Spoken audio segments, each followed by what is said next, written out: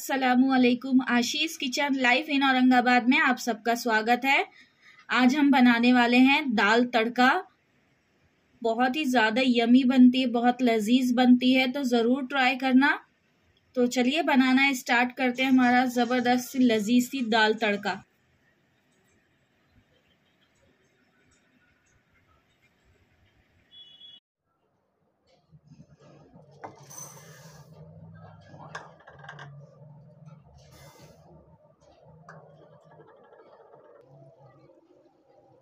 कर। ये सब भी आए। हम इसमें एक गिलास पानी डालेंगे ताकि हमारी दाल अच्छी तरह से गल जाए। हमने दाल को आधे से एक घंटे तक भिगाना है पहले। आप अगर दाल को इस तरह से पहले से भिगाएँगे तो उसका टेस्ट बहुत अच्छा आता है।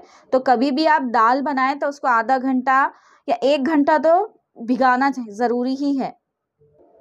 अब हम इसमें थोड़ी सी हल्दी डालेंगे, दो पिंच जितनी बस, एक छोटी प्याज काट के इसलिए तरह से बस डाल देना है। प्याज डालेंगे तो दाल का टेस्ट बहुत अच्छा आता है, क्योंकि हम दाल तड़का बना रहे हैं तो उसका अच्छा फ्लेवर आता है। हम इसमें हाफ़ टी स्पून जितनी मिर्ची पाउडर डालेंगे। हाफ़ टी स्पून नमक या फिर टेस्ट के हिसाब से। चार सीटी आने तक इसको हम पका लेंगे। दाल हमारी अच्छी तरह से गल गई है और अच्छी तरह से घुट भी गई है। देखिए, इसी तरह से हमें चाहिए। अगर आपके थोड़ा मिक्स नहीं हुआ हो तो हैंड बीटर से उसको थोड़ा चला लें तो अच्छी तरह से मिक्स हो जाएगी। यह है हमारे तड़के का सामान।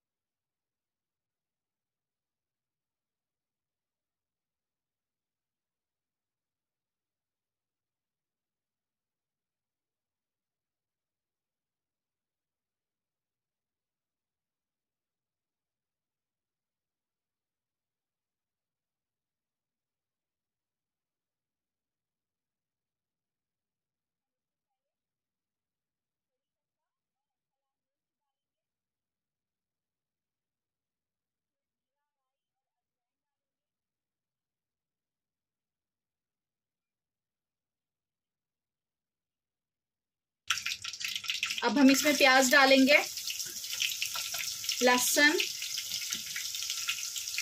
लहसुन और प्याज को हम थोड़ा लाल होने देंगे। इसमें अदरक और हरी मिर्च डालेंगे।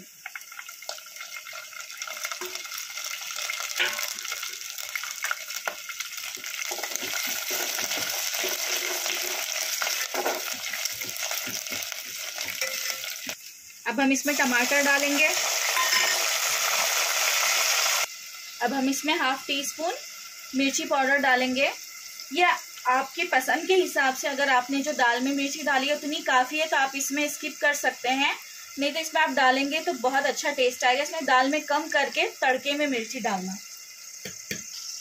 थोड़ी सी हल्दी डालेंगे हम तड़के का कलर अच्छा दिखाने के लिए। जैसे मैं आपको बता रही हूँ, आप इसी तरह से बनाएँ। बहुत अच्छी दाल बनती है, जो नहीं भी खाते हैं ना, वो भी खाने लगेंगे। अब हम इसमें कोतमीर भी डाल देंगे। तो इसको अच्छी तरह से चलाएँगे।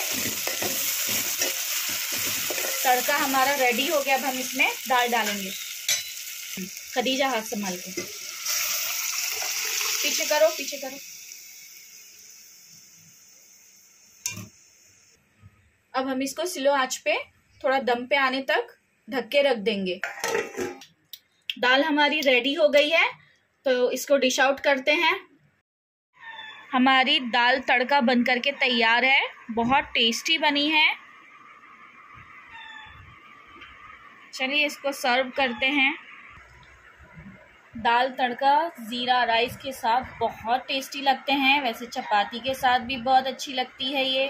पराठे के साथ भी तो ज़रूर से ट्राई कीजिए और मेरे चैनल को लाइक शेयर सब्सक्राइब कीजिए। और मुझे बताइए आपको मेरी रेसिपी कैसी लगती है।